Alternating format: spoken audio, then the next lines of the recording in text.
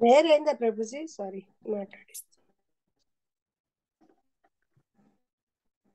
ప్రభుజీ అజ్ఞానతిమిరాంధస్య జ్ఞానాంజనశలాకయా చక్షురున్మిలితం తస్మై శ్రీ గురవే నమః చైతన్యమనోభీష్టం స్థాపితం హితం येन భూతలే అయం రూపः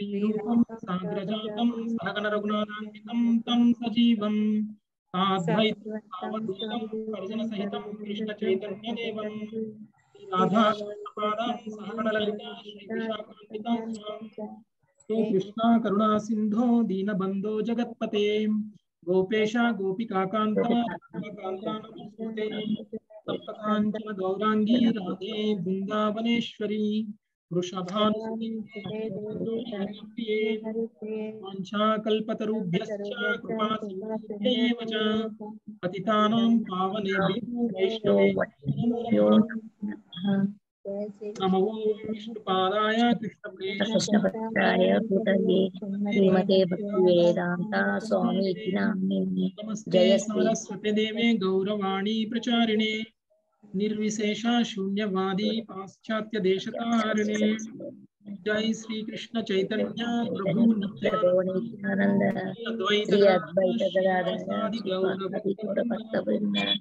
हरे कृष्णा हरे कृष्णा। कृष्णा कृष्ण कृष्ण हरे।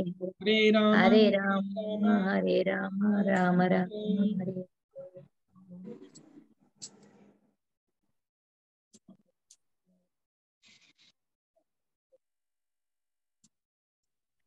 ఓం నమో భగవతే వాసుదేవాయ.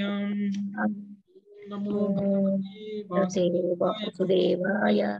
ఓం నమో భగవతే వాసుదేవాయ. ఓన్లీ శ్లోకం రిపీట్ చేసేటప్పుడు మాత్రమే అన్మ్యూట్ చేసుకోండి మాతాజీ. తర్వాత మళ్ళీ మ్యూట్ చేసుకోండి. హరే కృష్ణ. సో ఈ రోజు మనము నాలుగవ స్కందం ఎనిమిదవ అధ్యాయం నుంచి స్టార్ట్ చేస్తామండి నాలుగవ స్కందం ఎనిమిదవ అధ్యాయం.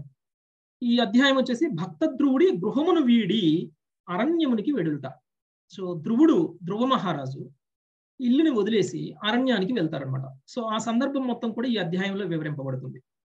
అయితే మనం రెండు శ్లోకాలు నిన్న చదువుకున్నాము. ఆ రెండు శ్లోకాల్లో ఏం చెప్పుకున్నాము అనేటువంటి విషయాన్ని మళ్ళీ ఒకసారి సమరైజ్ చేసుకున్న తర్వాత మూడవ శ్లోకానికి వెళ్దాం. యాక్చువల్గా చూస్తే మైత్రేయుడు ఈ వృత్తాంతం మొత్తం కూడా విదురుడికి మొత్తం కూడా వివరిస్తున్నారు.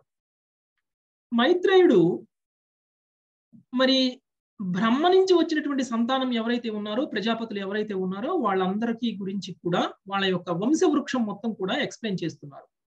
చేస్తున్న సమయంలో బ్రహ్మదేవుడికి స్వయంభువ మనువు ఆ ఒక ప్రజాపతి.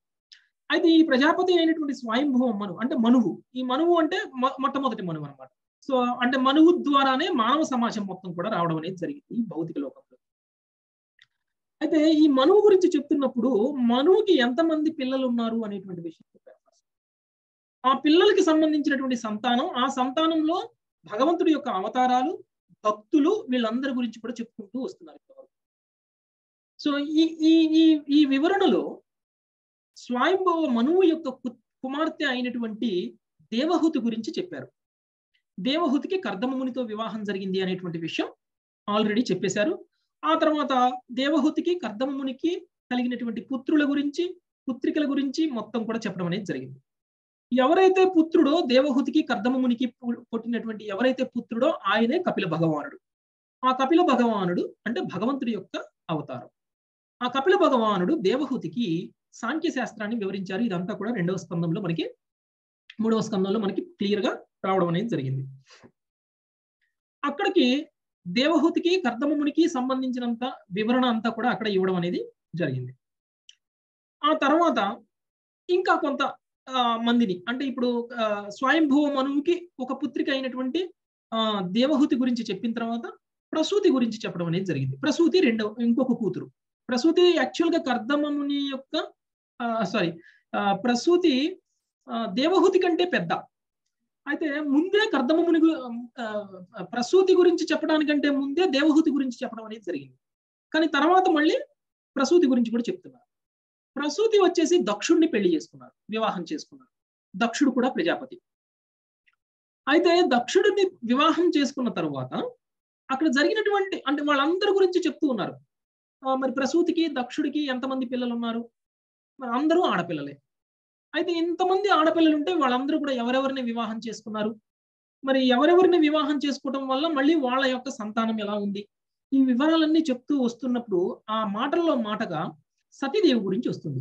ఎందుకంటే సతీదేవి కూడా దక్షుడికి కూతురు. అంటే ప్రసూతికి దక్షుడికి జన్మించినటువంటి కూతురు. అయితే మరి ఈ సతీదేవి గురించి వచ్చినప్పుడు మరి అందరికీ పిల్లలు ఉన్నారు అని చెప్పావు కదా మరి సతీదేవికి ఎందుకు పిల్లలు లేరు అనేటువంటి సంభా అనేటువంటి సందర్భంలో?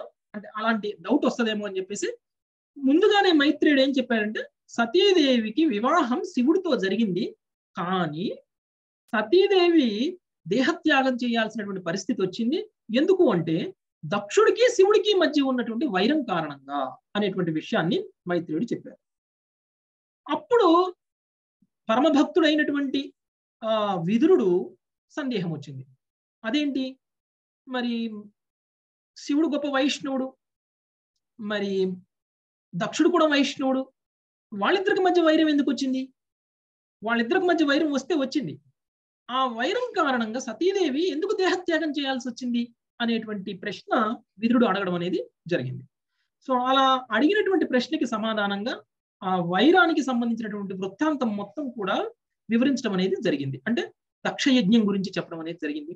దక్షయజ్ఞం ఎందుకు విధ్వంసం చేయాల్సినటువంటి పరిస్థితి వచ్చింది శివుడు అనేటువంటి విషయం చెప్పడం అనేది జరిగింది.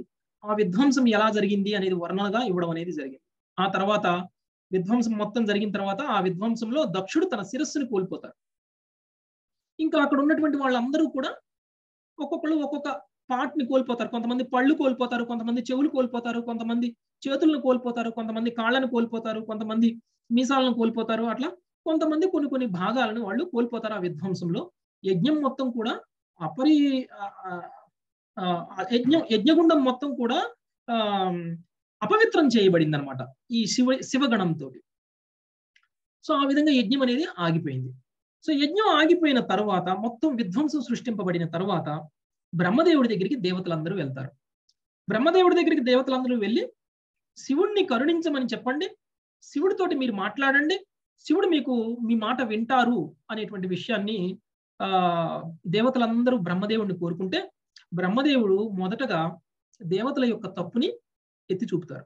మీరందరూ ఇలా చేయకుండా ఉండి ఉండాల్సింది. శివుణ్ణి అవమానించడం మంచిది కాదు అని చెప్పేసి దేవతలకు చెప్పిన తర్వాత దేవతలందరినీ తీసుకుని బ్రహ్మదేవుడు శివుడి దగ్గరికి బయలుదేరతారు. అలా బయలుదేరుతున్నటువంటి క్రమంలో ఏ విధంగా అయితే ఈ కైలాసాన్ని దాటి కైలాసం మొత్తం కైలాసానికి వెళ్ళేటువంటి దారిలో కుబేరుడి యొక్క లోకము ఇంకా మిగిలినటువంటి ఆ, ప్రదేశాల యొక్క వర్ణన అంతా కూడా ఇవ్వడం అనేది జరుగుతుంది అనమాట అదంతా కూడా భాగవతంలో మనకి ఎక్స్ప్లెయిన్ చేయబడింది. తర్వాత శివుడి దగ్గరికి వెళ్తారు. శివుడి దగ్గరికి వెళ్ళినప్పుడు బ్రహ్మదేవుడు ఫస్ట్ శివుడిని చూడగానే ప్రేయర్ చేస్తారు. అంటే ఒక వైష్ణవుడికి ఇంకొక వైష్ణవుడు కలిసినప్పుడు ఏ విధమైనటువంటి గౌరవాలు ఇచ్చిపుచ్చుకోవాలో అలాంటి గౌరవాలని వాళ్ళు ఇచ్చిపుచ్చుకోవడం అనేది జరుగుతుంది. ఆ తర్వాత శివుణ్ణి ఉద్దేశించి నువ్వు ఒక వైష్ణవుడివి నువ్వు ఇలా తప్పు చేసి ఉండకూడదు నువ్వు ఇంత కోపాన్ని ప్రదర్శించి ఉండకూడదు అని అనేటువంటి విషయాన్ని ఆ బ్రహ్మదేవుడు మాట్లాడతారు. అంటే దేవతలు బ్రహ్మదేవుడి దగ్గరికి వచ్చినప్పుడు దేవతలది రైట్ అని ఏం చెప్పలేదు అక్కడ. దేవతల యొక్క తప్పుని చూపి ఎప్పుడైతే దేవతలందరినీ తీసుకుని శివుడి దగ్గరికి వచ్చారో శివుడి దగ్గర దేవతల తప్పు గురించి మాట్లాడలేదు. అది దౌత్యం. సో అంటే బ్రహ్మదేవుడు గొప్ప దౌత్యాన్ని ప్రదర్శించారు. శివుడి దగ్గరికి వెళ్ళినప్పుడు శివుణ్ణి ఏ విధంగా కన్విన్స్ చేయాలి? శివుడి యొక్క తప్పుని ఎత్తి చూపుతూ శివుణ్ణి మళ్ళీ జరిగినటువంటి డ్యామేజ్ ఏదైతే ఉందో దాన్ని మళ్ళీ ఎలా రికవర్ చేయాలి అనేటువంటి దానికి అవసరమైనటువంటి మాటలు ఏవైతే ఉంటాయో అంతవరకు ఆయన మాట్లాడారు. అప్పుడు శివుడు ఆయన యొక్క వాదనను కూడా ఆయన వినిపిస్తారు. ఇలా ఇలా జరిగింది కాబట్టి నేను చేయాల్సి వచ్చింది. కానీ ఇప్పుడు నా కోపం అనేది చల్లారిపోయింది.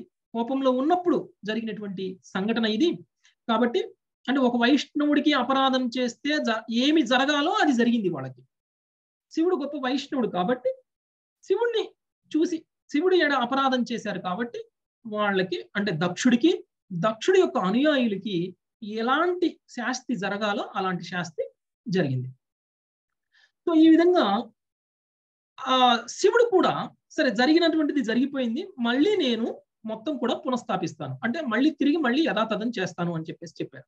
చెప్పి దక్షుడికి తిరిగి మేకతలకాయ ఇవ్వడం అనేది జరిగింది. అంటే ఎవరెవరు ఏమేమి కోల్పోయారో వాళ్ళ శరీరంలో భాగాలు దానికి ప్రత్యామ్నాయమైనటువంటి భాగం అనేది ఇవ్వడం అనేది జరిగింది. మళ్ళీ తిరిగి యజ్ఞం మొదలైంది. యజ్ఞం మొదలైన తర్వాత మొదటగా విష్ణువుని ఆహ్వానించడం అనేది జరిగింది. ఈసారి యజ్ఞానికి ఇంతకు ముందు యజ్ఞానికి తేడా ఏమిటంటే దక్షుడికి ఇప్పుడు శివుడి యొక్క ప్రాముఖ్యత ఏంటో తెలిసింది. దక్షుడికి శివుడి మీద భక్తి పెరిగింది. ఇంతకుముందు శివుడి మీద వైరం ఉండేది. దక్షుడు సేమ్ దక్షుడు. తన తలకాయ మారినా కానీ బుద్ధి మారలేదు. అందుకనే బుద్ధి అనేటువంటిది భౌతికమైనది కాదు అది సూక్ష్మమైనది అనేటువంటి విషయం అక్కడ మనకి వివరించడం అనేది జరిగింది. అంటే ఒక తలకాయ మారినది ఇప్పుడు మనం అందరం అంటుంటారు కదా నా తలకాయ నా బ్రెయిన్ భౌతికమైనటువంటి బ్రెయిన్ కాబట్టి అంటే బ్రెయిన్ అనేది భౌతికమైనదే కానీ బుద్ధి అనేది భౌతికమైనది కాదు. తలకాయ మారినా కానీ దక్షుడు దక్షుడుగానే ప్రవర్తించారు. ఇంతకు ముందు ఎలాంటి జ్ఞానాన్ని దక్షుడు కలిగి ఉన్నారో మేక మేక తలకాయతోటి కూడా దక్షుడికి అదే జ్ఞానం ఉంది. అలాంటి అంటే ఇంతకు ముందు ఉన్నటువంటి మెమరీ అంతా కూడా తిరిగి ఉంది. అంటే ఆయనకి భార్య ఎవరు పిల్లలు ఎవరు జరిగినటువంటి వృత్తాంతం ఏమిటి ఎందుకు తన తలలను కోల్పోవాల్సి వచ్చింది ఎందుకు మేక తలకాయ రావాల్సి వచ్చింది శివుడికి ఆయనకి ఉన్నటువంటి సంబంధం శివుడికి ఆయన చేసినటువంటి అపరాధం మళ్ళీ దాన్ని ఆ అపరాధం నుంచి బయటపడడానికి ఆయన చేయాల్సినటువంటి కర్మలు. ఇవన్నీ కూడా ఆయనకి పూర్తి జ్ఞానం ఉంది. దీన్ని బట్టి మనకు అర్థమవుతుంది బుద్ధి అనేటువంటిది భౌతికమైనది కాదు అది సూక్ష్మమైనటువంటిది. అంటే స్థూలమైనటువంటిది కాదు సూక్ష్మమైనటువంటిది అనేటువంటి విషయం మనకి అక్కడ ప్రభుపాదుల వారు క్లియర్గా ఎక్స్ప్లెయిన్ చేశారు. సో మళ్ళీ యజ్ఞం స్టార్ట్ చేసిన తర్వాత విష్ణువుని మళ్ళీ ఆహ్వానించారు. ఎప్పుడైతే విష్ణు అక్కడికి ప్రత్యక్షమయ్యారో అప్పుడు అందరూ కూడా విష్ణువు యొక్క వెలుగు ముందు వాళ్ళ యొక్క దేహకాంతి మరి విహీనంగా కనిపించింది. అంటే విష్ణువులో ఉన్నటువంటి దేహకాంతి ఎలా ఉంది అంటే ఆ దేహకాంతి ముందు ఎవరెవరు అక్కడికి ఆల్రెడీ దక్షుడు యొక్క దేహకాంతి చాలా గొప్పగా ఉంటుంది. అలాంటి దక్షుడు శివుడు యొక్క దేహకాంతి బ్రహ్మ యొక్క దేహకాంతి కూడా చాలా చిన్నగా అయిపోయింది అనమాట అది విష్ణువు యొక్క గొప్పతనంగా అక్కడ చెప్పడం అనేది జరిగింది. ఆ తర్వాత విష్ణువు ఎవరైతే చూశారో ఎప్పుడైతే చూసారో మనం కూడా దేవాలయాలకు వెళ్తాం శ్రీ విగ్రహాన్ని దర్శనం చేసుకుంటాం. శ్రీ విగ్రహాన్ని మనం దర్శనం చేసుకున్న తర్వాత మనం ఎలా ప్రవర్తించాలి అనేటువంటి విషయాన్ని ఎప్పుడైతే విష్ణు భగవానుడు ఈ యజ్ఞంలో ఆహ్వానింపబడినప్పుడు వచ్చినప్పుడు ఏ విధంగా అయితే దక్షుడు గాని బ్రహ్మదేవుడు గాని శివుడు కానీ అక్కడ ఉన్నటువంటి దేవతలు కానీ అక్కడ ఉన్నటువంటి గంధర్వులు కానీ లేకపోతే విద్యాధరులు కానీ లేకపోతే ఇంకా బ్రాహ్మణులు కానీ ఏ విధంగా భగవంతుణ్ణి గౌరవించారో ఆ విధంగా మనము కూడా అర్చా విగ్రహాన్ని శ్రీ విగ్రహాన్ని దర్శించుకున్నప్పుడు అదే రకమైనటువంటి భావాన్ని ప్రదర్శించాలి. ఎందుకంటే ఇప్పుడు చూడండి ఎప్పుడైతే విష్ణు భగవానుడు ప్రత్యక్షమయ్యారో అందరూ సాష్టాంగ నమస్కారం చేశారు. ఎప్పుడైతే విష్ణు భగవానుని చూశారో వాళ్ళ వాళ్ళ ప్రేయర్స్ చేశారు. భగవంతుణ్ణి కీర్తించారు. భగవంతుణ్ణి కీర్తించి భగవంతుడి యొక్క గొప్పతనాన్ని అందరికీ తెలియజేశారు.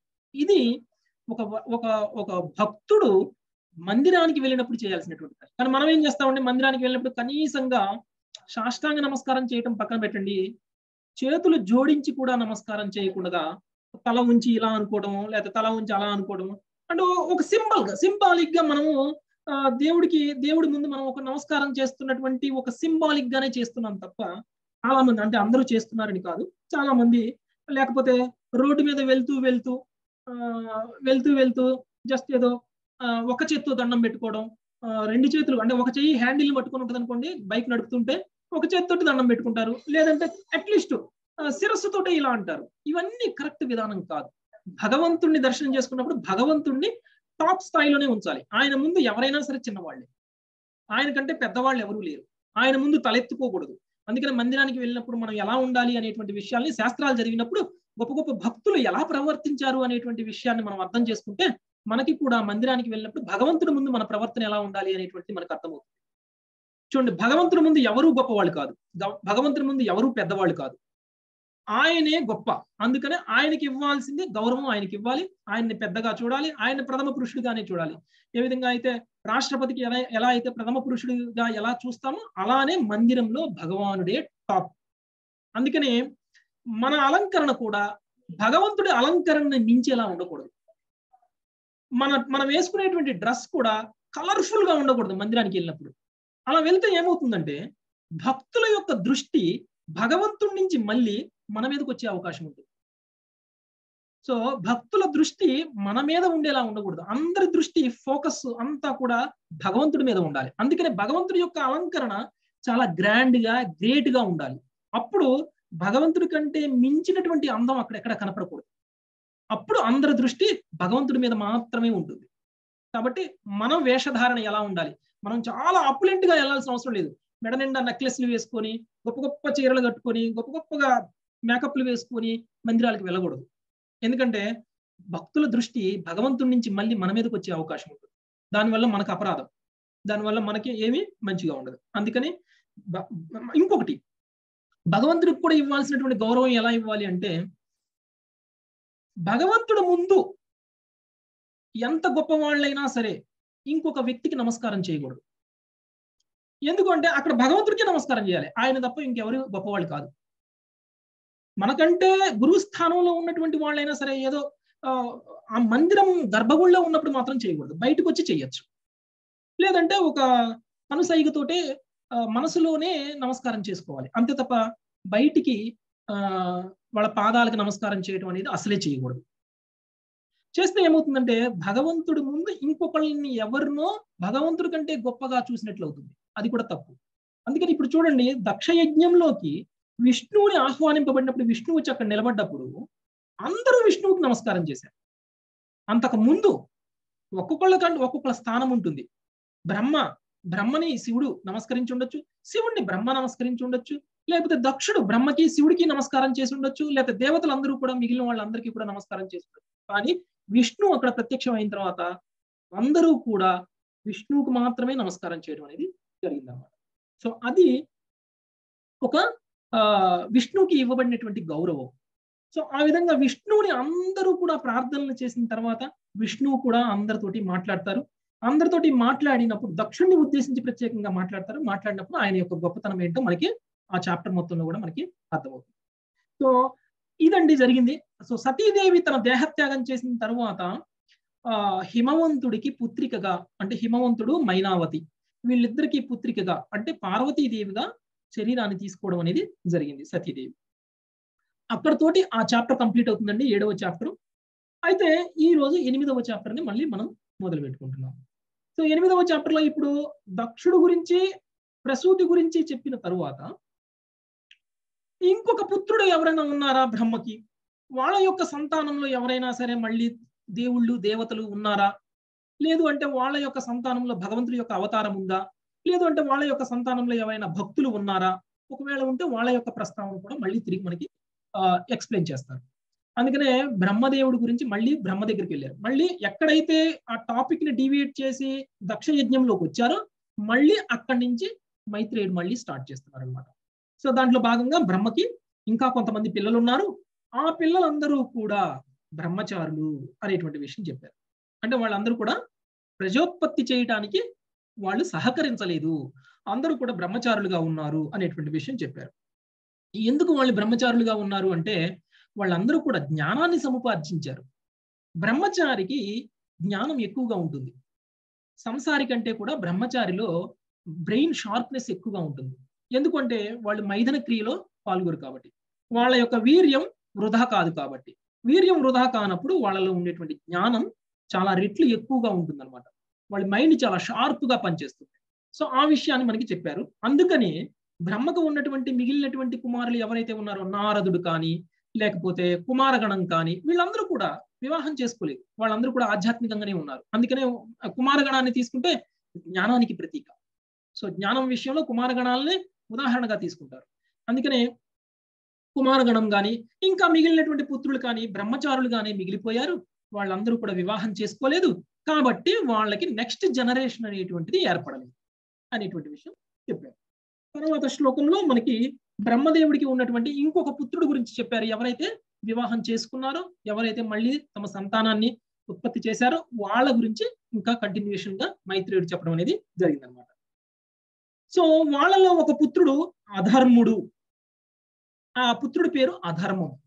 సో అధర్మం అనేటువంటి పుత్రుడు మిథ్య అనేటువంటి భార్యని వివాహం చేసుకున్నారు. మిథ్యకి ఇంకొక పేరు కూడా మృష అనేటువంటి నామము ఉంది. సో వీళ్ళిద్దరికి కలిగినటువంటి కొంతమంది సంతానం ఇక్కడ చెప్పడం అనేది జరిగింది. దంభము మాయ అనేటువంటి ఇద్దరు దానవ సంతానం అనేది కలిగిందనమాట ఎందుకంటే వీళ్ళు వీళ్ళు ఎందుకు మరి బ్రహ్మదేవుడు అంత గొప్ప భక్తుడికి మరి ఇలాంటి దానవులు ఎందుకు జన్మించారు? బ్రహ్మదేవుడు కోరిక నాకు దానవులు కావాలి అని కోరుకున్నారా? పుత్రులు చెడ్డవాళ్ళు కావాలని ఏ తండ్రి కోరుకోడు కదండి? కానీ బ్రహ్మదేవుడికి ఒక దానవ ప్రవృత్తి కలిగినటువంటి పుత్రులు దానవ ప్రవృత్తి కలిగినటువంటి మనవాళ్ళు జన్మించారు.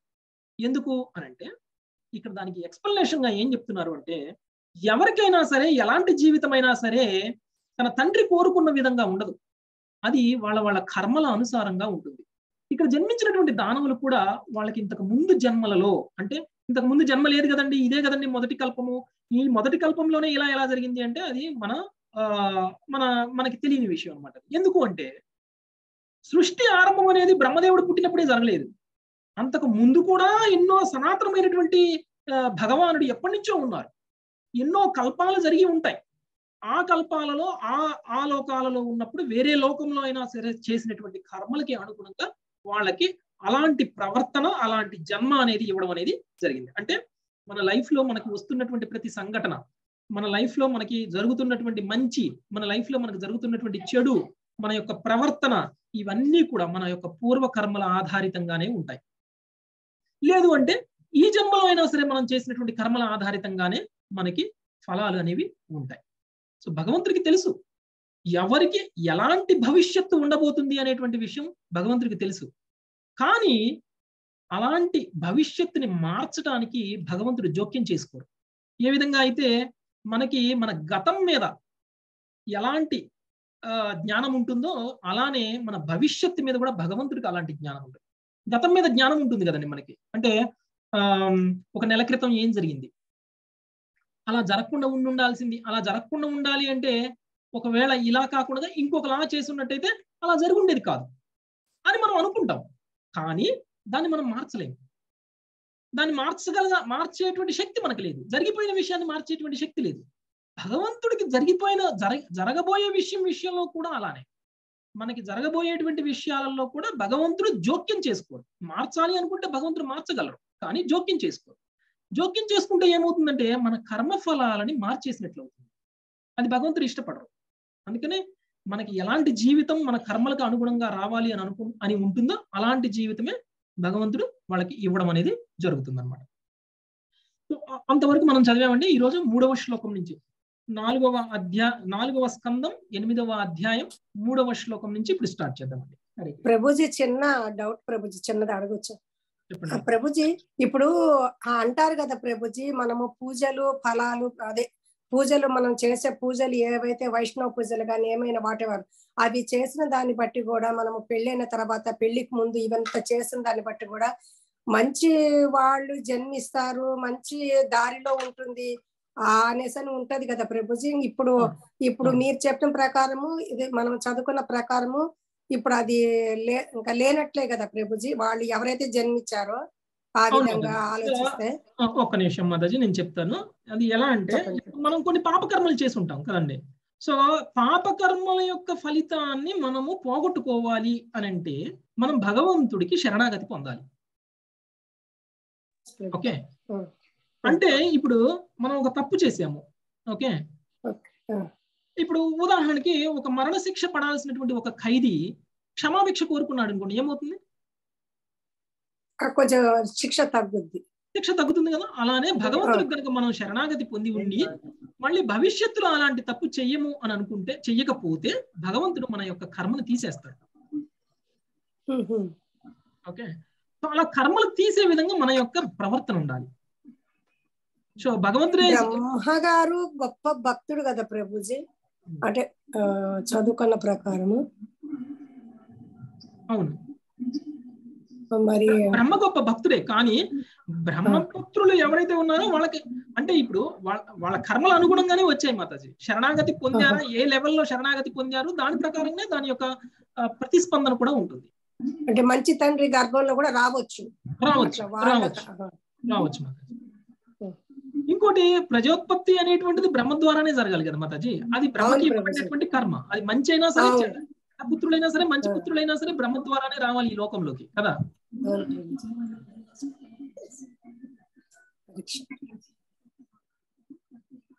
ఓకే. సో మూడవ శ్లోకం అండి. అందరూ అందరూ అన్మ్యూట్ చేసి నాతో పాటు రిపీట్ చేయండి. तयो समभवनोः निकृतिश्च महामते। निकृतिश्च क्रोधश्च हिंसां च। ताभ्यां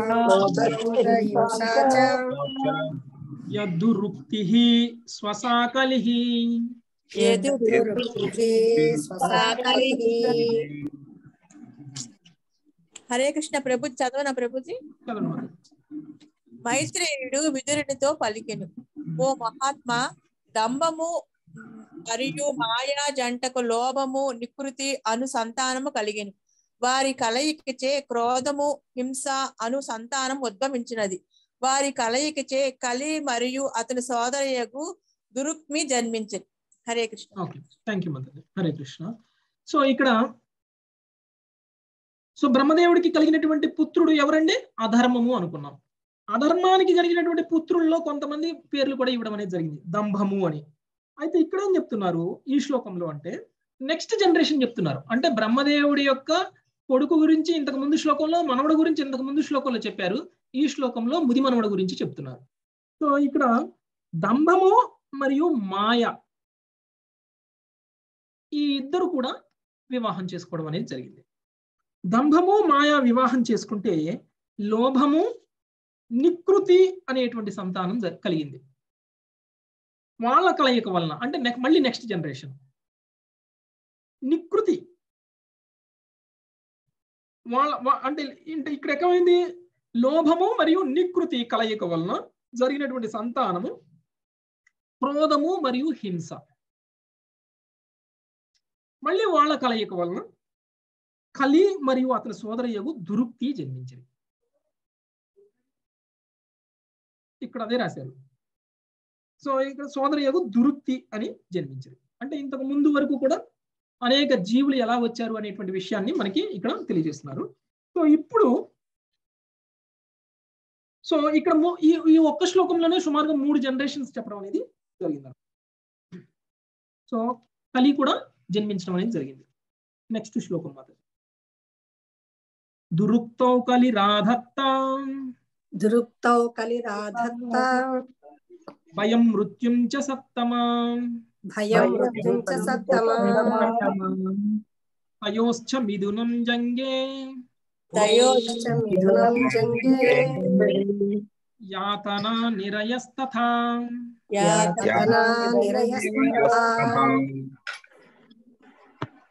నెక్స్ట్ ఎవరు మాతాజీ ప్రభుజీ ఏమనుకోకండి నాకు పేజ్ నెంబర్ అర్థం కాలేదు ప్రభుజీ. ఒకసారి చెప్పరా ప్రభుజీ? అధ్యాయం ఎనిమిది మాతాజీ నాలుగవ శ్లోకం. అధ్యాయం ఎనిమిది రెండు వందల నలభై నాలుగు పేజీ నెంబర్. రాధారాణి మాతాజీ చదవండి. హరే కృష్ణ మాతాజీ. ఓ సత్పురుష శ్రేష్ట ఫస్ట్ దురక్తి కలయిక హరే కృష్ణ. భీతి. సంతానము కలిగినది. మిగిలిన వాళ్ళు మ్యూట్ చేయండి మాతాజీ. ఎవరికి ఏమీ వారి వినపడదు కలయికచే యాతన నరకం అనేది సంతానము ఉద్భవించినది. Hare Krishna Prabhuji. Okay thank you so కలి మరియు దురుక్తి కలయికచే మృత్యువు భీతి అను సంతానము కలిగినది.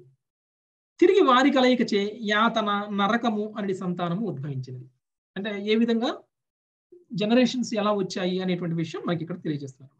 నెక్స్ట్ సో ఈ పేర్లన్నీ అంత ఇంపార్టెంట్ ఏం కాదండి ఇప్పుడు. సో ఎవరి ద్వారా ఎవరు వచ్చారు అనేటువంటి విషయం ఇక్కడ మైత్రేయుడు విదుడికి తెలియజేస్తున్నారు. జస్ట్ మనం వంశవృక్షాన్ని అర్థం చేసుకోవాలి. ఈ వంశవృక్షంలో మళ్ళీ ఎక్కడైతే డీటెయిల్డ్ వివరణ అవసరమో అప్పుడు మళ్ళీ విదురుడు ప్రశ్నిస్తారు. ప్రశ్నించినప్పుడు మళ్ళీ మైత్రేయుడు వాళ్ళకి సంబంధించినటువంటి ఆ కథ మొత్తం కూడా మళ్ళీ చెప్పడం అనేది జరుగుతుంది అనమాట సంగ్రహేణ మయాఖ్యాత. సంగ్రహేణ మయా ఖ్యాతః ప్రతి సర్గస్థవానగా ప్రతి త్రిశ్రుత్వేతత్ పురా త్రిశ్రుత్వేతత్ పుమాన్ పుణ్యం సుశ్రుత్వైత పుణ్యం విదునోత్యాత్మనోమలం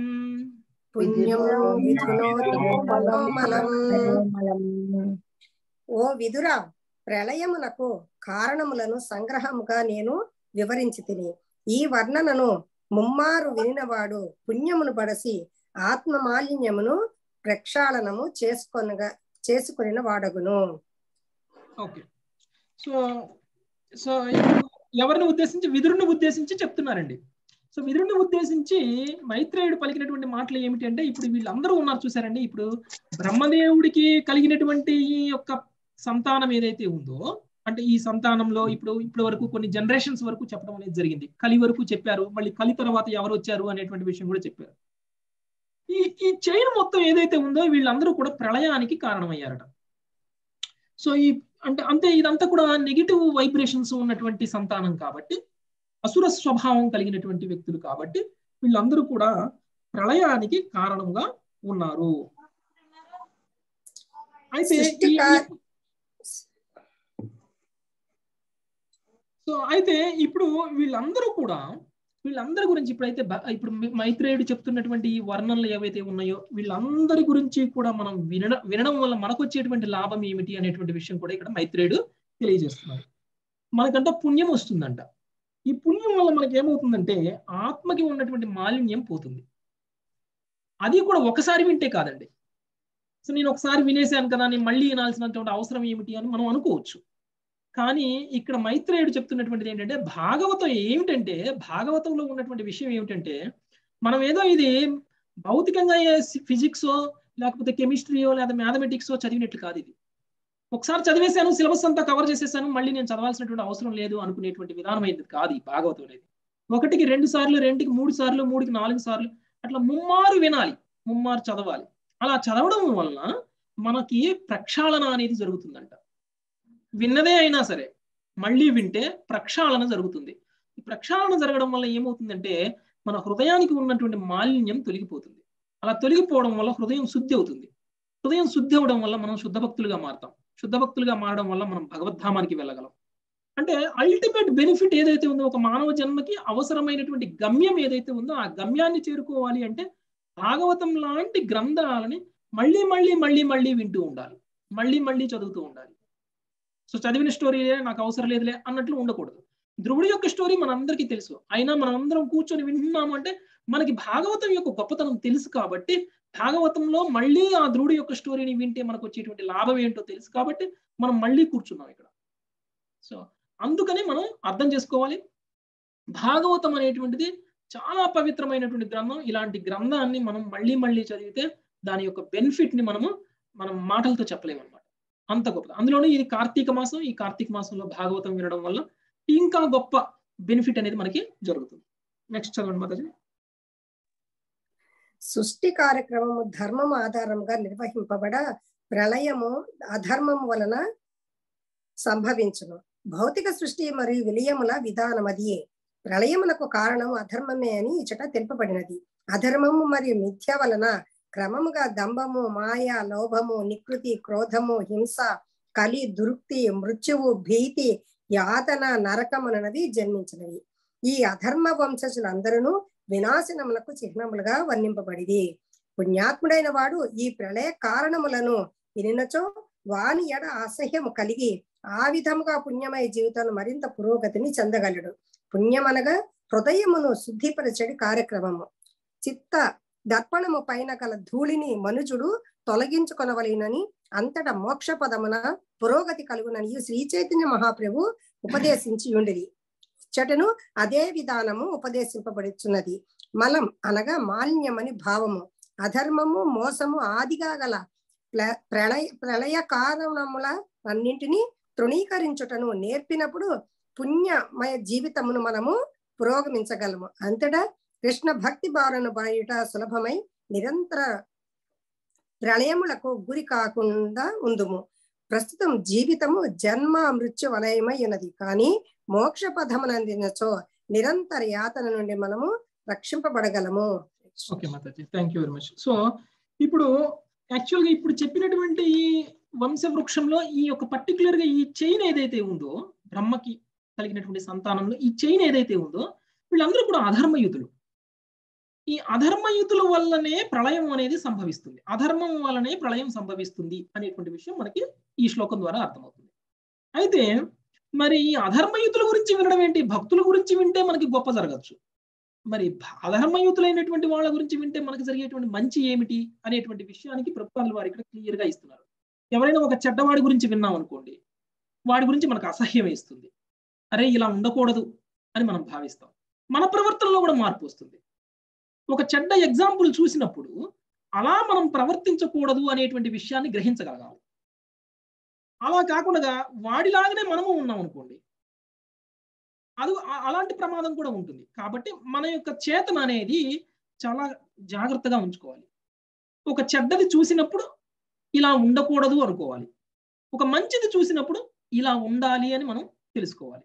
సో ఇలా చేయగలిగిన వాడు తెలివిగలవాడు. సో అలా చే అలా చేసేటువంటి శక్తి అలాంటి చేసేటువంటి బుద్ధి మనకు వస్తుంది.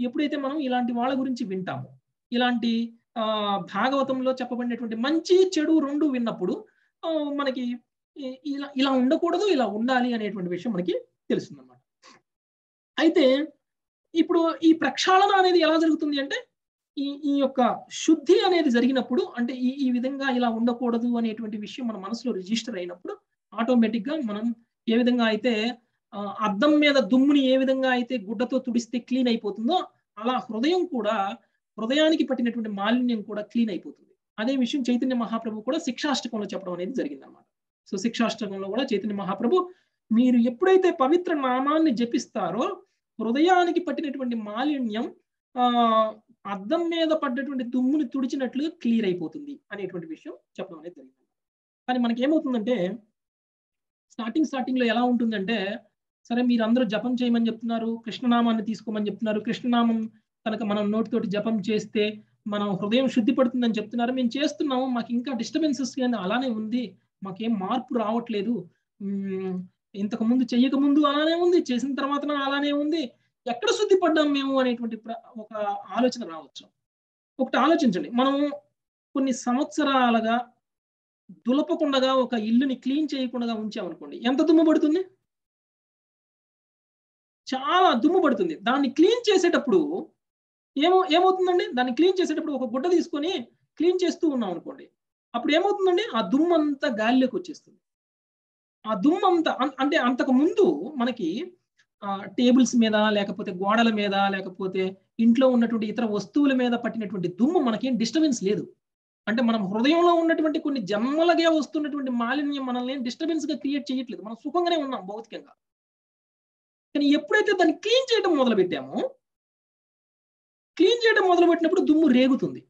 ఆ రేగినటువంటి దుమ్ము ఏమవుతుంది అంటే అది మనకి డిస్టర్బెన్స్ని క్రియేట్ చేస్తుంది. అరే దులపకుండా ఉంటేనే బాగుంటదేమో దులిపితే ఎందుకు ఇలా అయిపోతుంది? మనం కనీసంగా ఆ దుమ్ము ముక్కులోకి వెళ్ళిపోయి తుమ్ములు వస్తున్నాయి దగ్గులు వస్తున్నాయి హెల్త్ ఖరాబ్ అవుతుంది అని మనం అనుకుంటాం. కానీ ఒక్కసారి మొత్తం క్లీన్ అయిపోయింది అనుకోండి. ఆ తర్వాత ఎలా ఉంటుంది? లైఫ్ లాంగ్ హ్యాపీగా ఉంటుంది. మళ్ళీ ఫర్దర్గా మనం అలాంటి పాపాలు చేయకుండా మళ్ళీ అలాంటి దుమ్ముని మళ్ళీ మన హృదయంలో కప్పవేయకుండా మనం జాగ్రత్త పడుతూ మనం గనక మన సాధన గనక చేసుకుంటే లైఫ్ లాంగ్ హ్యాపీగా ఉంటాం. అంటే దుమ్ము దులిపే టైంలో ఉన్నటువంటి ఈ యొక్క ఏదైతే ఈ అన్కంఫర్ట్ ఉందో దాన్ని చూసి మనం మన సాధనని ఆపేయకూడదు. సో అందుకనే ఈ ఈ శుభ్రం చేయడం అనేటువంటిది చాలా చాలా ఇంపార్టెంట్ సో అది ఈ జన్మలో కాకపోతే వచ్చే జన్మలో అయినా చేయాలి. కాకపోతే ఇంకా దుమ్ము పేరుకుంటూ పోతూ ఉంటుంది. ఎక్కువ పేరుకున్న తర్వాత చేస్తే ఏమవుతుందండి? దాన్ని తుడిసేటప్పుడు ఇబ్బంది పడాలి. అందుకనే కొంచెం కొంచెం పేరుకున్నప్పుడే తీసేసేస్తూ క్లీన్ చేస్తూ ఉండాలి. అందుకనే కృష్ణనామ జపం అనేటువంటిది అదే చేస్తుంది. ఎప్పుడైతే అలా మనం శుద్ధి పడుతూ ఉంటామో అప్పుడు మనకి నెక్స్ట్ జన్మ మృత్యు అనేటువంటి వలయంలో మనం చిక్కుకోకుండా మళ్ళీ పరిశుభ్రమైనటువంటి పరిశుద్ధమైనటువంటి హృదయంతో మనము భగవద్ధామానికి వెళ్తే ఈ ఈ యొక్క వలయంలోంచి బయటికి వెళ్ళిపోలే వెళ్ళిపోయినట్టు అవుతాం. అంటే మోక్ష పదంలోకి వెళ్ళిన వాళ్ళం అవుతాం అన్నమాట. నెక్స్ట్ శ్లోకం అండి. అతాత కీర్తయే వంశం. అథాతః కీర్తయే వంశం.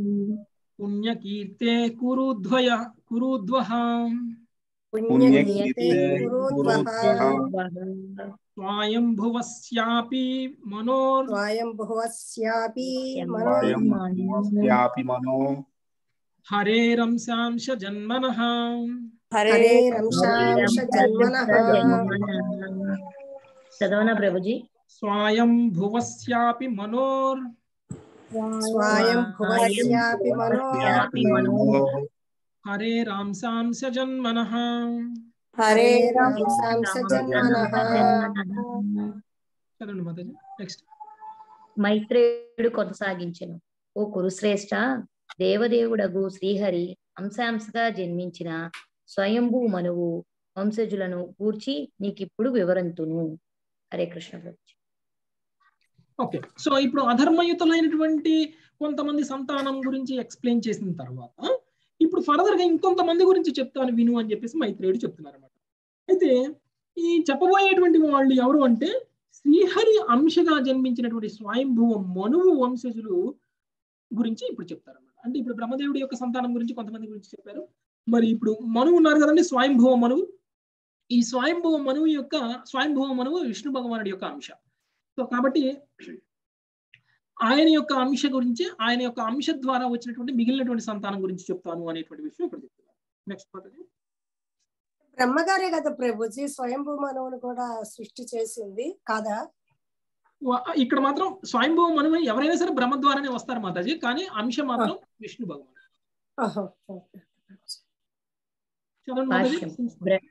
బ్రహ్మదేవుడు దేవదేవుడకు శ్రీకృష్ణుని శక్తి విస్తారం. బ్రహ్మదేవుడు జీవిత తత్వమే అయినను.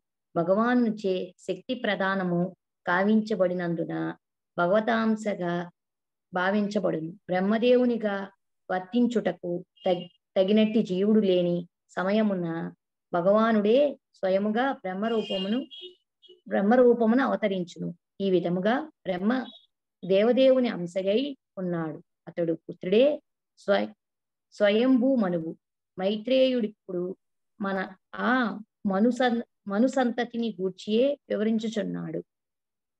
వారందరూ పుణ్యకార్యములందు సుప్రసిద్ధులు. ఈ పుణ్యాత్ములకు వంశజులను గూర్చి వివరించుటకు ముందు మైత్రేయుడు క్రోధము హింస దురుక్తి కలి భీతి మరణము వంటి పాపవంశజులను గూర్చి వివరించియే ఉన్నాడు. కనుకనే ఉద్దేశపూర్వకముగా అతడు భక్త ధ్రువుని ఈ విశ్వమందు పుణ్యాత్ముడు డగు రాజు చరిత చరితమును ఇకపై వివరింపనున్నాడు. హరే కృష్ణ ప్రభు ఓకే. సో ఇక్కడ భక్త ధ్రువుడు గురించి వివరించడానికంటే ముందే కొంతమంది ఆ పాప వంశజుల గురించి వివరించడం అనేది జరిగింది. అంటే భక్త ధ్రువుడి యొక్క ఆ జీవితంలో ఎదురవబోయేటువంటి సంఘటనలకి కారణం అంటే అలాంటి పాప వంశజులు ఉండడం వల్లనే భక్త ధ్రువుడికి కూడా కొన్ని సంఘటనలు ఎదురయ్యాయి. సో ఆ సంఘటనలు ఏమిటి అనేటువంటి విషయం చెప్పాలి అంటే ముందు ఆ గుణం ఎలా వచ్చింది? ఆ భావం ఎలా వచ్చింది? ఆ కోపం ఎందుకు వచ్చింది? లేకపోతే ఆ జలస్ లేకపోతే ఆ ఈర్ష్యా భావం ఎక్కడి నుంచి వచ్చింది అంటే ఇవన్నీ కూడా ఇంతకు ముందే జన్మించాయి కాబట్టి అవన్నీ కూడా ఇప్పుడు భక్త ధ్రువుడి యొక్క చరిత్రలో కూడా మనకి కనిపిస్తాయి అనేటువంటి విషయం మనకి అర్థం అవడం కోసం. అయితే ఇక్కడ ఏం చెప్తున్నారండి? బ్రహ్మదేవుడికి శక్తి ప్రదానం చేయబడ్డా చేయబడ్డారు. అంటే బ్రహ్మదేవుడు స్వయంగా తనకి శక్తి లేదు. బ్రహ్మదేవుడు స్వతంత్రుడు కాదు. బ్రహ్మదేవుడికి భగవంతుడు శక్తి ప్రదానం చేస్తే బ్రహ్మదేవుడు ఈ సృష్టిని స్టార్ట్ చేశారు. అంటే ఇప్పుడు ఒక జీవి కొన్ని వంద జన్మల పాటు ఒక్క తప్పు కూడా చేయకుండా పుణ్యాత్ముడుగా ఉంటే బ్రహ్మస్థానాన్ని పొందవచ్చు. అలాంటి బ్రహ్మస్థానాన్ని పొందడానికి అర్హత ఎవరూ? ఏ జీవి సాధించినప్పుడు మరి బ్రహ్మస్థానం ఖాళీగా ఉండిపోతుందా? ఉండదు. భగవంతుడే స్వయంగా బ్రహ్మదేవుడిగా వస్తారు. ఒకవేళ ఏదైనా జీవికి ఆ అర్హత ఉంటే ఆ అర్హతని బ్రహ్మస్థానంలో కూర్చోబెడతారు. అంటే బ్రహ్మదేవుడు అనేటువంటిది ఒక వ్యక్తి కాదు ఒక పదవి. సో ఆ పదవిలో ఎవరు కూర్చుంటే వాళ్ళు బ్రహ్మదేవుడు అవుతారు.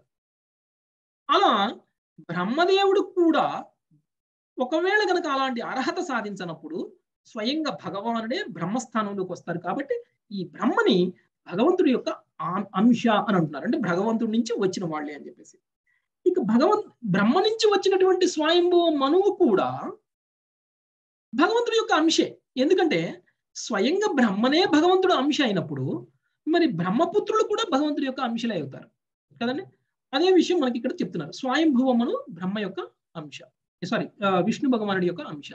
అయితే ఈ భగవానుడి అంశ అయినటువంటి స్వయంభువ మనువుకి సంబంధించినటువంటి వంశం ఏదైతే ఉందో వాళ్ళందరూ కూడా పుణ్యజీవులు. ఈ పుణ్యజీవుల్లోనే కొంతమంది గురించి ఆల్రెడీ మనకి వివరించారు. ఇప్పుడు మనకి ఇంకా కొంతమంది పుణ్యజీవుల గురించి వివరించబోతున్నారు. అందులో ధ్రువుడు కూడా ఒకడనమాట సో ధ్రువుడు యొక్క చరిత్ర రాబోయే శ్లోకాల్లో స్టార్ట్ అవ్వబోతుంది. అందుకు ఇది పునాది అనమాట ఓకే మాతాజీ? నెక్స్ట్ प्रियव्रतोत्तानपादौ प्रियव्रतोत्तानपादौ शतरूपापते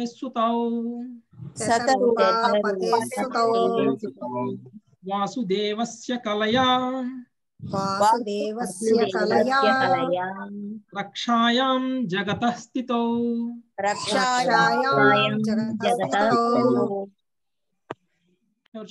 नेक्स्ट लाइन लो। ప్రభుజీ. పేరు చెప్పండి మాతాజీ మీరు కామేశ్వర్ మాతాజీ రాస్తారు. మాతాజీ ఉన్నారు ఓకే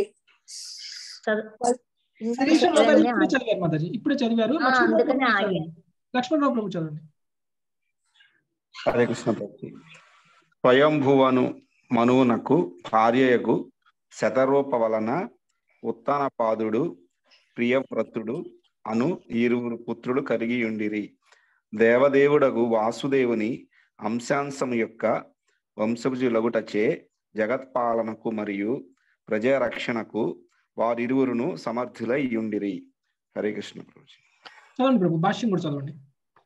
ఆ, ప్రభుజీ. భాష్యము. ఉత్తానపాదుడు ప్రియవ్రతుడు విశేషముగా భగవానునిచే శక్తి ప్రదానము కావింపబడిరని చెప్పబడినది. మహారాజు వృషభదేవుడు అట్లుగాక సాక్షాత్తుగా దేవదేవుని అవతారమై ఉన్నాడు. హరే కృష్ణ. థ్యాంక్స్ ప్రభు ఇప్పుడు చూడండి స్వయంభువ మనువు మనకి ఇప్పుడు మొట్టమొదటిసారి రాలా ఈ పేరు కదండి?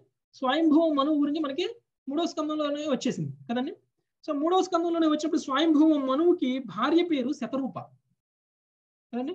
స్వయంభువ మనువుకి శతరూపకి కలిగినటువంటి ముగ్గురు కుమార్తెల గురించి మనము ఇంతకు ముందు చర్చించాం ప్రసూతి అకూతి దేవహూతి. కదండి సో దేవహూతి సంతానం గురించి ఆల్రెడీ చెప్పేశారు. ప్రసూతి సంతానం గురించి కూడా ఆల్రెడీ చెప్పేశారు. అయితే స్వయంభవ మనువుకి ముగ్గురు పుత్రికలతో పాటు ఇద్దరు పుత్రులు కూడా ఉన్నారు అనేటువంటి విషయం ఇంత ముందే మనం తెలుసుకున్నాం. కదండి సో ఇద్దరు పుత్రులు ఉన్నప్పుడు ఆ ఇద్దరు పుత్రుల పేర్లు కూడా మనం ఇంతకు ముందు చూసాం. మళ్ళీ వాళ్ళ గురించి చెప్తున్నారు. ఎందుకు చెప్తున్నారు? అంటే వాళ్ళ నెక్స్ట్ జనరేషన్ గురించి కూడా ఇప్పుడు మనకి మైత్రేయుడు వివరించబోతున్నారు. సో వాళ్ళిద్దరు పుత్రులు ఎవరంట అంటే ఉత్తానపాదుడు ప్రియవ్రతుడు. ఉత్తానపాదుడు ప్రియవ్రతుడు అనేటువంటి వాళ్ళు స్వయంభవ మనువుకి కలిగినటువంటి ఇద్దరు పుత్రులు. వీళ్ళు ఎలాంటి వాళ్ళు అనేటువంటి విషయం ఈ శ్లోకంలోనే మనకి మైత్రేయుడు చెప్పిస్తున్నారు. చాలా గొప్ప వాళ్ళు. చాలా శక్తి కలిగినటువంటి వాళ్ళు. మరి వీళ్ళకి ఈ శక్తి ఎక్కడి నుంచి వచ్చింది? అంటే భగవంతుడు వాళ్ళకి శక్తి ప్రదానం చేశారు. ఎందుకు చేశారు? అంటే స్వయంభవ మనువు అంటే మరి మరి ఈ యొక్క భూమండలం మొత్తం కూడా అంటే ఈ సమస్త సృష్టిని కూడా పాలించేటువంటి రాజు. మరి అలాంటి రాజుకి ఎంత శక్తి ఉండాలి? ఆ శక్తి భగవంతుడు ఇస్తారు. ఇస్తే తప్ప ఈ ఈ లోకం మొత్తాన్ని కూడా వాళ్ళు పాలించగలగ పాలించగలిగేటువంటి శక్తి వాళ్ళకు ఉంటుంది. అలానే మరి స్వయంభవ మనువుకి ఆ శక్తి ఇచ్చినట్లే స్వయంభవ మనువు యొక్క పుత్రుడైనటువంటి ఉత్తానపాదుడు ప్రియవ్రతుడికి కూడా అలాంటి శక్తి ఇవ్వడం అనేది జరిగిందనమాట. అందుకనే వీళ్ళ యొక్క పుత్రుడు ఎవరైతే ఉంటారో ఉత్తానపాదుడికి ప్రియవ్రతుడికి కలిగేటువంటి పుత్రుడు వృషభదేవుడు. వృషభదేవుడు స్వయంగా భగవానుడి యొక్క అవతారం. అంటే వీళ్ళు ఎంత గొప్పవాళ్ళు కాకపోతే వీళ్ళ గర్భంలో అంటే వీళ్ళకి వీళ్ళ సంతానంగా భగవంతుడే స్వయంగా జన్మ తీసుకోకుండా తీసుకునేటువంటి పరిస్థితి ఉండదు. కదండి? అంటే వీళ్ళ యొక్క గొప్పతనం స్వయంగా భగవానుడే వాళ్ళకి పుత్రుడుగా జన్మించే అంత గొప్పతనం వీళ్ళలో ఉంది కాబట్టి వీళ్ళ యొక్క గొప్పతనం మనకి క్లియర్గా అర్థమవుతుంది అనమాట అంటే రాబోయే శ్లోకాల్లో వృషభదేవుడి గురించి కూడా అంటే రాబోయే అధ్యాయాల్లో మనకు వృషభదేవుడి గురించి కూడా వివరిస్తారు. వృషభదేవుడికి సంబంధించినటువంటి లీలలు కూడా చెప్తారు. కాబట్టి వృషభదేవుడు అంటే భగవంతుడి యొక్క స్వయంగా అవతారమైనటువంటి వృషభదేవుడు కూడా వీళ్ళ యొక్క పుత్రుడుగా వచ్చారు కాబట్టి వీళ్ళ యొక్క గొప్పతనం మనకి ఇక్కడ ఎలివేట్ అయ్యి కనిపిస్తుంది అనమాట నెక్స్ట్ జాయే ఉత్తాన పాదస్య. జ్ఞానే ఉత్తానపాదస్య సునీతి శుచిస్తయో సునీతి సురుచిస్తయోః సురుచి ప్రేయసీ పత్యోర్ సురుచిః ప్రేయసీ పత్యోర్ నేతరా యత్సుతో ధ్రువ ధ్రువః ఉత్తానపాదునికి సునీతి సురీచి అను ఇరువురు భార్యలుండిరి. వారిలో సురీచి భర్తకు పరమ ప్రియమైనదిగా కాగా సునీతి అతనికి ప్రీతి పాత్రురాలు కాలేకపోయెను. ఆ సునీతి తనయుడే భక్త ధ్రువుడు భాష్యం ఒక్క నిమిషం. ఇక్కడ ఉత్తానపాదుడికి ఇద్దరు భార్యలు ఉన్నారు అనేటువంటి విషయం చెప్తున్నారు. ఉత్తానపాదుడు ఎవరండి? స్వయంభు మను కొడుకు ప్రభుజీ. స్వయంభవ మనువు యొక్క పుత్రుడు. ఉత్తానపాదుడు యాక్చువల్గా ఇద్దరు పుత్రులు ప్రియవ్రతుడు కూడా ఉన్నారు ఇంకొక పుత్రుడు. కానీ ఈ శ్లోకంలో ఉత్తానపాదుడి యొక్క భార్యల గురించి చెప్తున్నారు. అయితే ఉత్తానపాదుడికి ఇద్దరు భార్యలు ఒక భార్య పేరు సునీతి సునీతి ఇంకొక భార్య పేరు సురుచి. కదండి? సునీతి సురుచి. పేర్లను బట్టి తెలుసుకోవాలి వాళ్ళ వాళ్ళ ప్రవర్తనలు ఎలా ఉంటాయి అనేటువంటి విషయం. అంటే సునీతి అంటే సు అంటే మంచి. నీతి అంటే నీతి కలిగిన ఆమె. సో అంటే అంత న్యాయబద్ధంగా ఉండేటువంటి మనిషి అన్నమాట. సునీతి అంటే. సురుచి అంటే రుచి అంటే ఏంటండి? రుచి అంటే రజోగుణ ప్రధానం రజోగుణ ప్రధానం రుచి అంటే. కోరికలు. కోరికలు కోరికలు. కలిగినటువంటి వాళ్ళు లేకపోతే అన్నిటిని కోరుకునేటువంటి వాళ్ళు. ఈ సురుచి అనేటువంటి ఆమె యొక్క ప్రవర్తన కూడా మనకి ఇక్కడ అర్థమైపోతుంది. అంటే పేరును బట్టే మనకి తెలిసిపోతుంది వీళ్ళు ఎలాంటి వాళ్ళు అనేటువంటి విషయం. సునూతి సురుచుల్లో ఎవరు ఉత్తానపాదుడికి ప్రియమైనటువంటి వాళ్ళు అనేటువంటి విషయం కూడా ఇక్కడ చెప్పారు. సునీతికి కూడా సురుచి ఉత్తానపాదుడికి ప్రియమైనటువంటి భార్య అట మరి ప్రియమైనటువంటి భార్య ఉన్నప్పుడు ఆటోమేటిక్గా భర్త ఆ భార్య వైపుకే ఎక్కువగా అంటే ఆయన ఆమె అంటే ఇష్టం కాబట్టి ఆమె ఇష్టాలను ఎక్కువ తీరుస్తూ ఉంటారు. సునీతి యొక్క ఇష్టాలను పట్టించుకోకుండా లేకపోతే సునీతికి జరగాల్సిన ఇద్దరికి సమానమైనటువంటి న్యాయం జరగదు అనేటువంటి విషయం మనకి ఈ శ్లోకం ద్వారా అర్థమవుతుంది.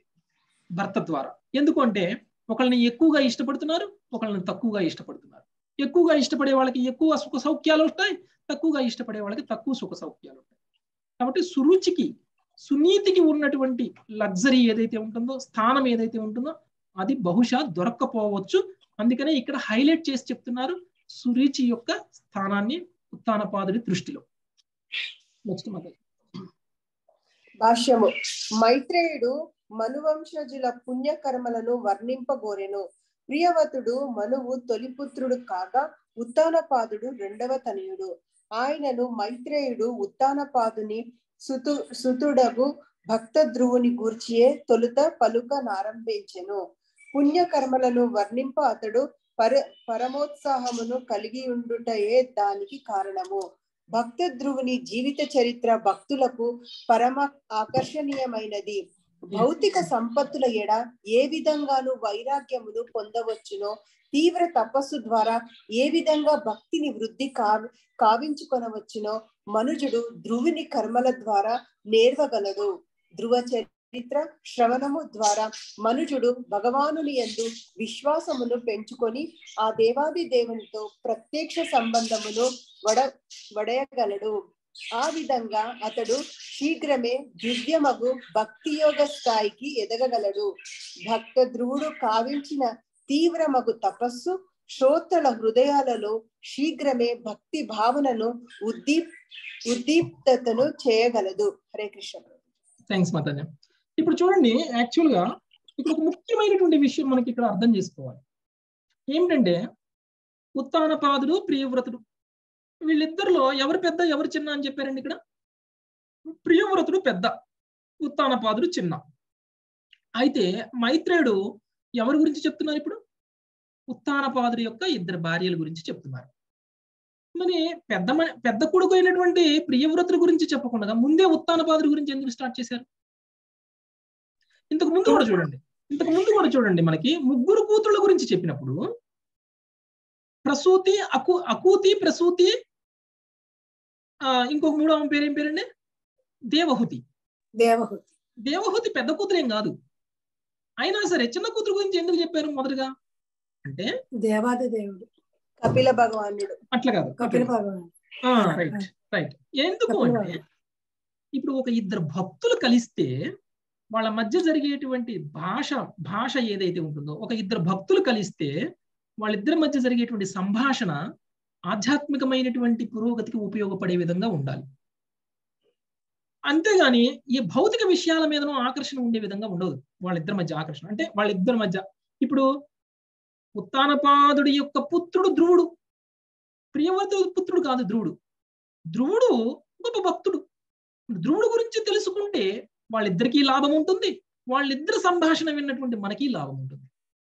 ఇలా వాళ్ళకి మనకి అందరికీ లాభం ఉండాలి అంటే ఒక భక్తుడు గురించి చర్చ జరగాలి. భక్తుడు గురించి మాత్రమే చర్చ జర- జరపడం కోసం ఇష్టపడేటువంటి వాళ్ళు భక్తులు కాబట్టి వాళ్ళిద్దరూ భక్తులు కాబట్టి వాళ్ళిద్దరి మధ్య ఎవరెవరి గురించి మొట్టమొదటిగా డిస్కషన్ జరుగుతుందో వాళ్ళందరూ కూడా భక్తులే అయి ఉంటారు. కాబట్టి ఇప్పుడు ఉత్తానపాదుడి యొక్క సందర్భం ఎందుకు తీసుకొచ్చారు అంటే ఈవెన్ మైత్రేయుడు కూడా ఉత్తానపాదుడి గురించి చెప్తేనే ధ్రువుడు యొక్క డిస్కషన్ చెప్పడానికి వీలవుతుంది. ధ్రువుడు గొప్ప భక్తుడు. ధ్రువుడు గురించి చెప్తే ధ్రువుడు ఏ విధంగా ఆయన భగవంతుణ్ణి పొందగలిగారు అనేటువంటి విషయం మనం గనక చర్చిస్తే దానివల్ల మనకి కూడా బాగుంటుంది అని చెప్పేసి ఉత్తానపాదుడి గురించి చెప్పడానికే మైత్రేయుడి యొక్క ఇంట్రెస్ట్ ఉంది. వేరే వాళ్ళ గురించి చెప్పడం కంటే కూడా. అందుకనే ఉత్తానపాదుడి గురించి చెప్పడం అనేది జరిగిందనమాట నెక్స్ట్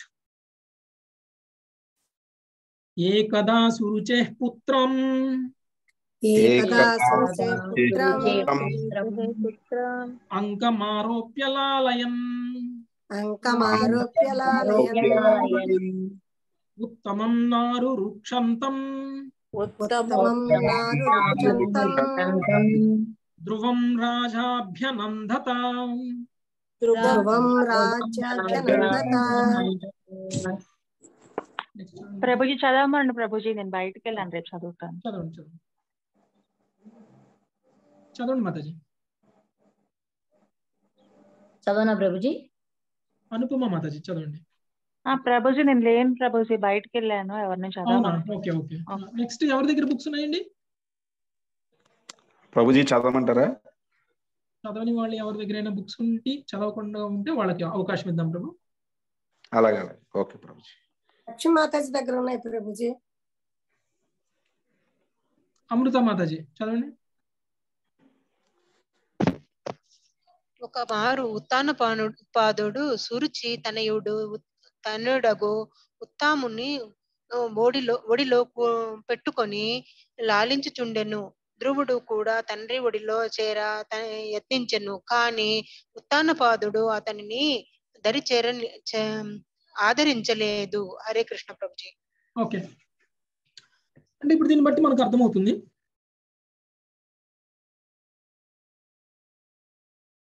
ఉత్తాన పాదుడికి ఇద్దరు కొడుకులు. ఒక కొడుకు సురుచికి పుట్టారు. ఇంకొక కొడుకు సునీతికి పుట్టారు. సురుచి పుత్రుణ్ణి ఉత్తాన పాదుడు ఒళ్ళో కూర్చోబెట్టుకొని లాలిస్తున్నారు. అంటే ప్రేమని చూపిస్తున్నారు. సురుచి పుత్రుణ్ణి. అంటే ఇప్పుడు ధ్రు ధ్రువుడు సురుచి పుత్రుడు కాదు అని అర్థం. అంటే ధ్రువుడు సునీతి యొక్క పుత్రుడు. యాక్చువల్గా ఇంతకు ముందు శ్లోకంలోనే మనకి చెప్పేశారు ఉత్తానపాదుడికి సురుచి అంటే ఇష్టం అని. ఒక భార్య అంటే తనకున్నటువంటి అనేక భార్యల్లో ఏ భార్య మీద అయితే ఎక్కువ ప్రేమ ఉంటుందో ఆ భార్య ద్వారా పొందినటువంటి సంతానం మీద కూడా ఆటోమేటిక్గా ప్రేమ పెరుగుతుంది. ఇష్టం లేని భార్యకు కలిగినటువంటి సంతానం మీద ప్రేమ అంత ఎక్కువగా చూపించరు భర్త. అందుకని ఉత్తానపాదుడు సురుచి యొక్క పుత్రుడిని ఒళ్ళో కూర్చోబెట్టుకుని లాలిస్తూ ప్రేమను పంచుతున్నారు కానీ సునీతి యొక్క పుత్రుడైనటువంటి ధ్రువుణ్ణి మాత్రం ఒళ్ళో కూర్చోబెట్టుకోలేదు. ఆ విషయం మనకి ఇక్కడ అర్థమవుతుంది. నెక్స్ట్ శ్లోకం. తథా చికీర్షమాణం తం.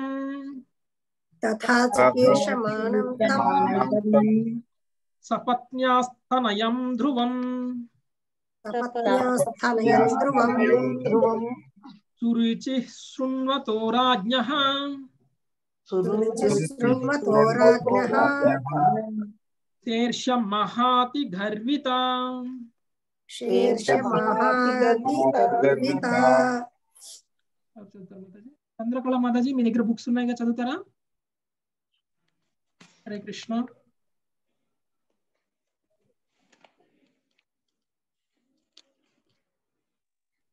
చదువుతారు మాతాజీ వేరే ఎవరైనా? లక్ష్మీ మాతాజీ.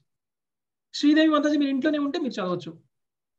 ప్రభుజీ లేదు ప్రభుజీ బయటకు వచ్చాను అందుకని చదవట్లేదు లక్ష్మి లక్ష్మీ మాతాజీ.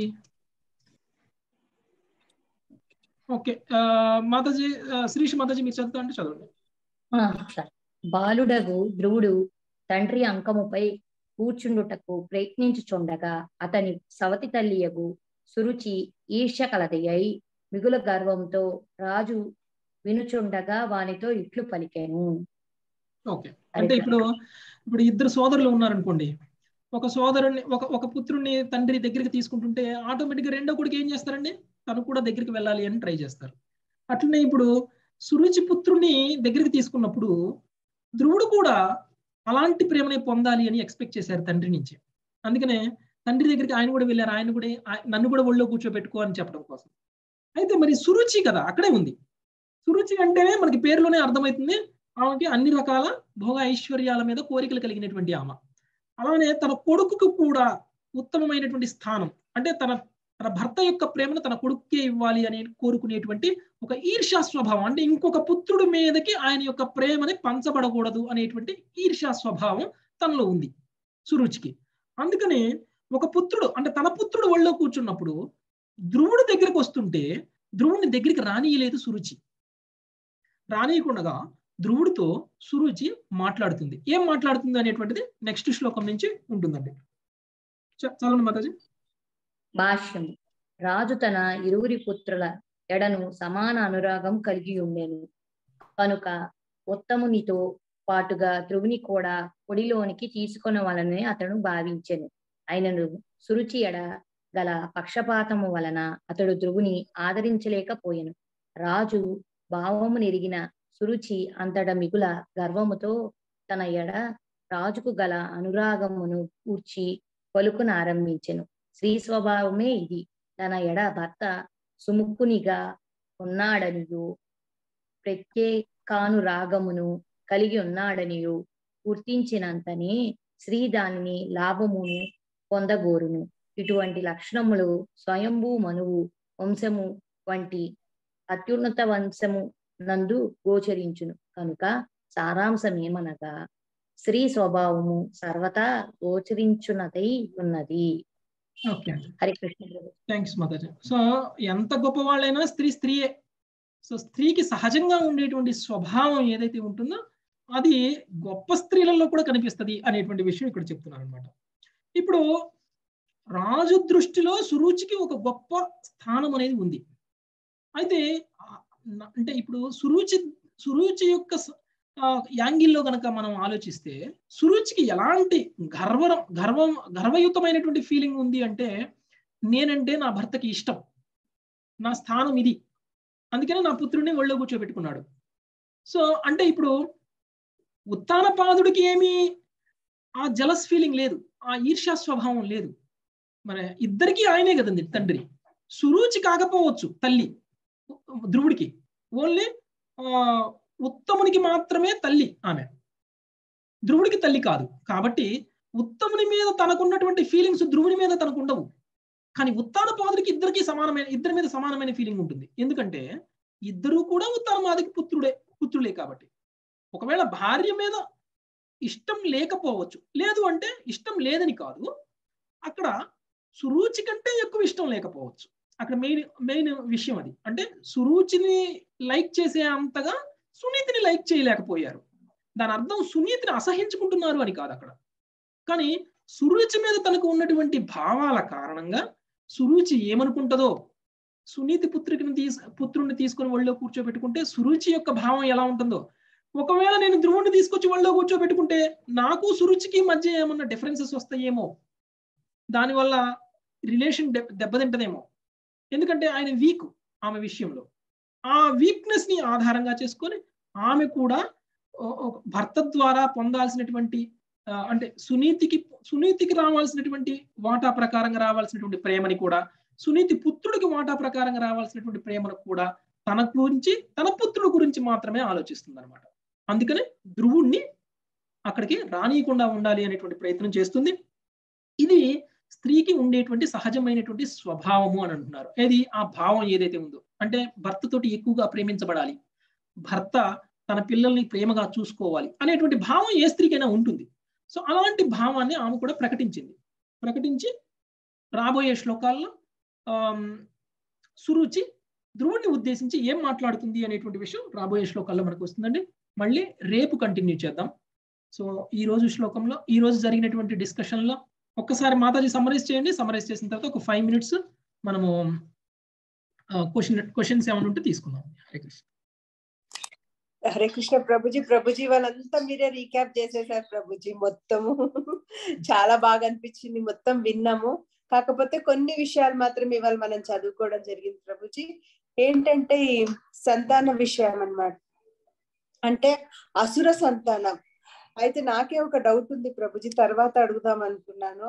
అసుర సంతానం అంటే వీళ్ళ పేర్లు చెప్తున్నారు కదా ప్రభుజీ దంభము లోభము క్రోధము హింస కలి మృత్యువు భీతి నరకం అంటే వీళ్ళు ఇప్పుడు మనం అంటాం కదా నరకానికి పోతావు కలి వచ్చింది అధర్మము అంటే అవి పేర్లా మనుషుల పేర్లా అనేది తర్వాత చెప్పండి ప్రభుజీ. ఇవన్నీ నిజమైన పేర్లా లేకపోతే వాళ్ళు పెట్టుకున్న నిజమైన పేర్లే అవన్నీ నిజమైన పేర్లే మాతాజీ అవన్నీ కూడా పుట్టాయి. అవే మనకి గుణాల రూపంలో మన మనలోకి వచ్చాయి స్వభావం రూపంలో. ఇప్పుడు వచ్చాయి. అంటున్నారు కదా ప్రభుజీ బ్రహ్మ కొడుకుకి అధర్మము అని పేరు ఏంటి ప్రభుజీ? అదే కదా మాతాజీ ఇంతకు ముందు మీరు లేట్గా జాయిన్ అయ్యారు మాతాజీ? లేదు ప్రభుజీ విన్నాను. మొదటి నుంచి విన్నానండి నేను వాళ్ళకి అంత బ్రహ్మ గారికి అలాంటి మనవాళ్ళు అదే అలాంటి వాళ్ళకి ఇవ్వబడిన పేర్లన్నీ కూడా వాళ్ళ యొక్క గుణ గుణాలకి అనుగుణంగానే వాళ్ళకి వాళ్ళ పేర్లు ఇవ్వడం అనేది జరిగింది. వాళ్ళ యొక్క జన్మ కూడా వాళ్ళ యొక్క కర్మల అనుగుణంగానే ఉంది. మళ్ళీ ఇంకా మనం ఏం తెలుసుకున్నామంటే ప్రభుత్వం మైత్రేయుడు చెప్పినట్టు భాగవతం చదవడం వలన మనకి చా వాళ్ళ ప్రక్షాళనం జరుగుతుంది. చాలా మంచి జరుగుతుంది. చాలా పవిత్రమైనది. పదే పదే భగవద్గీతను చదవడము భాగవతం చదవడం వల్ల అది మనం ఈ కార్తీకంలో వినడం అయితే ఇంకా చాలా మంచిది అని తెలుసుకున్నాము. ఈ అసుర సంతానం గురించి కూడా డీటెయిల్గా తెలుసుకున్నాము. సో ఇది కూడా బ్రహ్మ యొక్క సృష్టి. అంటే బ్రహ్మకు బ్రహ్మనే వీళ్ళందరి పుత్రులు వీళ్ళందరిని కూడా వాళ్ళ వాళ్ళ గుణరీత్యా వాళ్ళకి ఇలాంటి జన్మ లభించిందని తెలుసుకున్నాము. అదే విధంగా కృష్ణనామం ఎప్పుడైతే మనం జపిస్తామో మన ఆత్మను మనము శుద్ధి చేసుకున్నట్టు అవుతుందని తెలుసుకున్నాము. అయితే బ్రహ్మ బ్రహ్మ అనేది ఒక పదవి అని. ఇంతకు ముందు కూడా ప్రభుజీ చాలా సార్లు మా ప్రభుజీ చెప్పారు బ్రహ్మ అనేది ఒక స్థానం. అయితే బ్రహ్మ ఎందుకు గొప్ప అంటే ఆయన తప్పులు చేయని పుణ్యజీవి చాలా భక్తుడు. కాబట్టి ఆ పదవి ఆయనకు వచ్చింది అని తెలుసుకున్నాము. ఎవ్వరు లేని సమయంలో చాలా సార్లు భగవంతుడే ఆ పోస్ట్ని కూడా భర్తీ చేయడం జరుగుతుందని తెలుసుకున్నాము. ఇక్కడ స్వయంభు స్వయంభు మను కూడా భగవంతుని యొక్క అంశనే అంటే ఆ భగవంతుడే ఆయనని పుట్టించడం జరిగింది. ఆయనకి పవర్ ఇవ్వడం జరిగిందని తెలుసుకున్నాము. స్వయంభు మనువు విష్ణు యొక్క అవతారము. అంటే ఆయన చాలా పుణ్యజీవి. ఆయన నుండే చాలా ఈ మొత్తం సంబంధించినటువంటి ఆ వంశం మొత్తం కూడా ఆయన నుండే వచ్చింది. స్వయంభూ మనం నుంచి వచ్చిందని తెలుసుకున్నాము. అయితే ఇంతకు ముందు మనం తెలుసుకున్నట్టు వంశ వృక్షం చూస్తే స్వయంభూ మరి యొక్క వాళ్ళ కొడుకులు కూతుర్లు మళ్ళీ వాళ్ళ యొక్క సంతానం గురించి డీటెయిల్గా ప్రభుజీ చెప్పారు. అందులో చాలా ఇంపార్టెంట్ అయినది ఇవాళ మనం తెలుసుకున్నాము. అది ఏమంటే స్వయంభూ మన యొక్క కుమారుడు ఉత్తానపాదుడు ఏ ఇద్దరు కుమారులు ఉన్నారు కానీ అందులో ఒక కుమారుడు ఉత్తానపాదుని గురించి చాలా డీటెయిల్గా ఇంకా తెలుసుకోబోతున్నాము. ఎందుకంటే భక్తుడైనటువంటి ధ్రువుడు ఆయనకి పుత్రుడుగా జన్మించాడు కాబట్టి ఆయన గురించి మనం తెలుసుకోబోతున్నాము. అయితే చిన్నగా ఉత్తానపాదునికి ఇద్దరు భార్యల గురించి ఉన్నారని తెలుసుకున్నాము. ఒకరు సురుచి ఇంకొకరు సునీతి. సురుచి పుత్రుడు ఉత్తముడు సునీతి యొక్క పుత్రుడు మన ధ్రువుడు. అయితే సురుచి యొక్క కొంచెం గుణము ఏంటంటే తను ధ్రువుణ్ణి ఇష్టపడలేదు. ఎందుకంటే తన కొడుకు ఉత్తాన ఉత్తముడు. అది కాకుండా ఉత్తానపాదునికి ఆమె ఒక ప్రియమైనటువంటి భార్య అయినందుకు ఆమెకి ధ్రువుడి పట్ల కొంచెం కోపం కూడా ఉంది. ఈర్ష స్వభావురాలైనటువంటి రుచి ధ్రువుణ్ణి అతని తండ్రి దగ్గరికి రానివ్వలేదు. సో హరే కృష్ణ ప్రభుజీ సో చాలా ఎక్సైటింగ్గా ఉన్నాము. నెక్స్ట్ ధ్రువునితో ఆమె ఏం మాట్లాడుతుంది ధ్రువుడు ఏం ఛాలెంజింగ్ చేస్తాడు అనేది చాలా చాలా ఇంట్రెస్టింగ్గా ఉంది. చాలా బాగుంది ప్రభుజీ. మీరు మళ్ళీ మళ్ళీ రీక్యాప్ చేస్తూ ఉన్నారు. చాలా సంతోషం ప్రభుజీ. వాళ్ళ క్లాస్ సగం అంతా రీక్యాప్ అయింది. మళ్ళీ చాలా సంతోషం ప్రభుజీ. హరే కృష్ణ ప్రభుజీ. అంటే ఇప్పుడు ఒక విషయం అర్థమైంది. ఈ క్రోధము హింస కలి మృత్యువు భీతి నరకం అనేటివి మనం ఇప్పుడు అనుకున్నవన్నీ బ్రహ్మగారితో వాళ్ళ పేర్లు. హరే కృష్ణ ప్రభు